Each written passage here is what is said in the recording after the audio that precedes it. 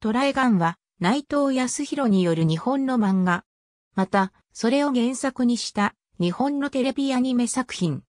当初の掲載誌の月刊少年キャプテンが休刊となったことにより、キャプテンに掲載されていたトライガンと、その後、ヤングキングアワーズにて連載再開したトライガンマキシマムの2作品としている。地球から遠く離れ、ホームよりはるかに巨大な大きさを持つ5つの月と人類が住むさらに大きな砂漠の惑星。二重構成、高重力の過酷な自然の中で、どうにか人々が暮らしている砂漠の星を舞台に、600億ドルドルの賞金首、人間台風ことバッシュザスタンピードが繰り広げる、ガンアクション。アメコミに強い影響を受けている一方、欧米でも愛好者が多い作品で、コミック端末のおまけ漫画において、内藤当人の尊敬する海外の著名人である、ジェフ・ダローから、あなたの本を持っていると言われたシーンが描かれている。筆者によれば、おまけ漫画も吹き出し外のセリフまで訳される、徹底ぶりだという。月刊少年キャプテンで連載。まず1995年2月に読み記事として、パイロット版が掲載された。すでに背景設定は確立していたが、主人公の描写などの細かい点には若干の差異が見られる。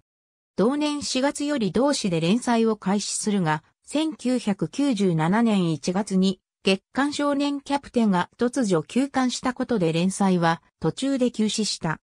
内藤は後日のトライガンマキシマムで連載を再開した際は、中断した部分のエピソードに一旦蹴りをつけた上で、ストーリーをはじめ、中断していた部分については、アニメ版の特集も兼ねた1998年発行のアニメージュ9月号増刊、トライガン最終完成型で残りが描かれて完結している。単行本は徳間書店で全3巻。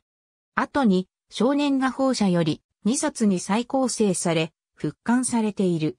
本編内容は同じだが、表紙及び巻末のおまけ漫画が差し替えられている。2010年に完全版が刊行。こちらも全2巻。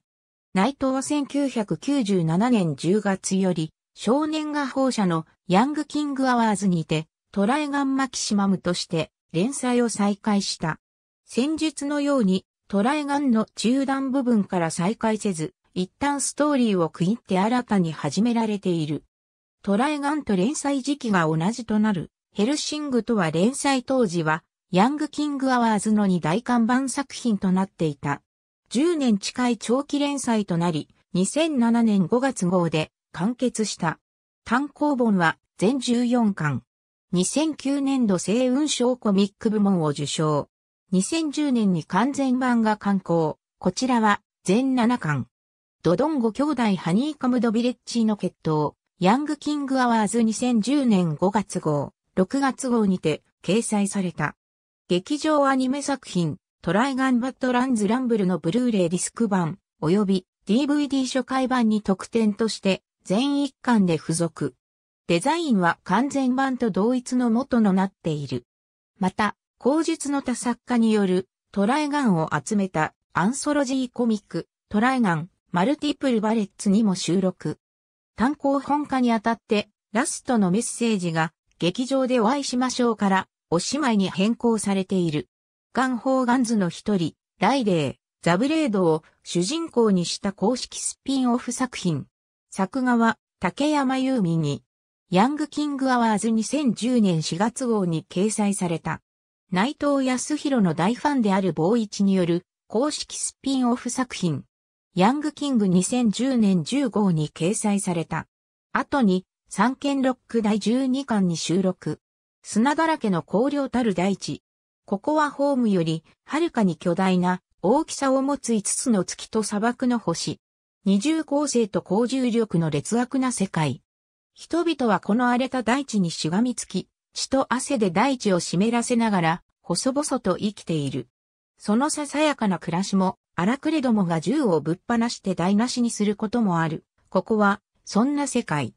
その過酷な世界に一人、赤いコートにとんがった金髪のトラブルメーカーがいた。なお、バッシュザスタンピードという。彼は、荒涼とした、この世界を放浪しながら、何かを探している。わかっているのは、彼が凄腕のガンマンで、とてつもなく、タフで、そして、筋金入りの平和主義者だということ。気のいい青年だが、あまりの傍ら迷惑ぶりに、ついたあだ名が、人間台風。とうとう局地災害指定を受ける羽目になった彼には保険会社からお目付け役が派遣される始末。しかし、彼にはいくつもの秘密と胸に秘めた決意があった。内部図によって選出された総勢12名の異常戦闘集団。それぞれが魔人と呼ばれるだけの人外的戦闘能力と異常性を誇る。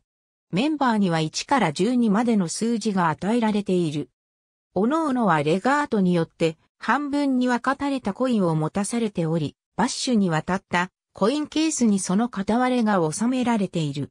12のうち3枠はミカエルの目のために用意された特別枠。また、13番を与えられたエレンディラの存在がある。1998年4月1日から9月30日までテレビ東京にて毎週水曜日に深夜アニメとして放送された。全26話。深夜アニメの先駆として成功した。当時、日本ビクターのプロデューサーだった北山茂が自身が関わっていた OVA 青空少女隊の上映イベントの際、月刊少年キャプテン編集部の人間からトライガンを紹介されたのが発端。後日、北山は作者の内藤康弘とアイアニメ化企画について打ち合わせを行い、内藤がアニメ映画、重表絵押し風潮が好きであったことから制作会社にマットハウスを希望し、北山は全3巻から第6巻の OVA 化の企画書を作り、マットハウスの丸山正夫へ話を持っていくこととなった。丸山はトライガンにすぐに興味を持ちアニメ化にも乗り気になるが、OVA ではなくテレビアニメとして作ることを望んだことから企画内容をテレビアニメへと変更し、北山は企画を通すための作業へと入った。テレビアニメの企画が無事に通ったことで、本格的にスタッフの選定へと移り、監督には丸山と相談の末、過去に日本ビクター作品の演出も手掛けていた西村聡に決まる。脚本家には北山が同時期に作っていた OVA、ジオブリーダーズで脚本を担当していた黒田洋介から俺に脚本をやらせてもらえませんかと、直談判を受け、黒田にシリーズ構成と脚本を任せることとなった。キャラクターデザインはオーディションの結果、最終的に内藤が推した吉松隆弘が選ばれ、メカニカルデザインには黒田からの推薦により、神宮寺則之の参加が決まった。基本的には漫画版の無印及びマキシマムの両作を元にしているが原作とキャラクター造形、設定がかなり違っており、他にも当初、保険やコンビがバッシュの顔を知らなかったなど、設定についてはかなり異なっている。